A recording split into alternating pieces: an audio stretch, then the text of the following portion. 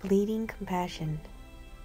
Say to them, As I live, declares the Lord God, I take no pleasure in the death of the wicked, but rather that the wicked would turn from his way and live. Turn back, turn back from your evil ways. Ezekiel 33:11 Whatever you do, don't ever allow hard preaching against sin to cause calluses around your heart.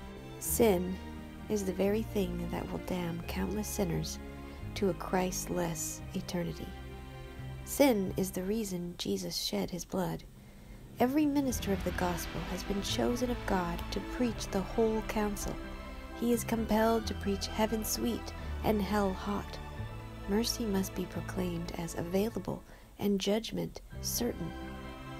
It is so true that our living Savior will one day be a severe judge. Concerning hard preaching, Robert South said, Ministers should threaten death and destruction even to the worst of men.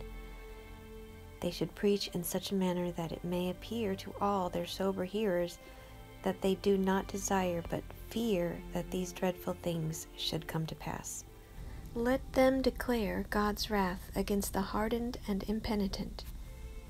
As I have seen a judge condemn a criminal with tears in his eyes, the true preacher of the word should grieve with an inward bleeding compassion for the misery of those hardened sinners upon whom God is about to pronounce his judgment.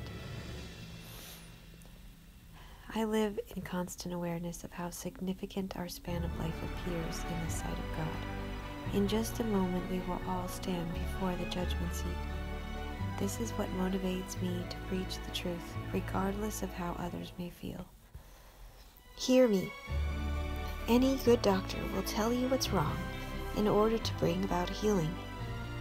Any good preacher will talk about sin so that the hearers can be set free. This devotional was taken from Steve Hill's book, Daily Awakenings, and I pray that you have a blessed day.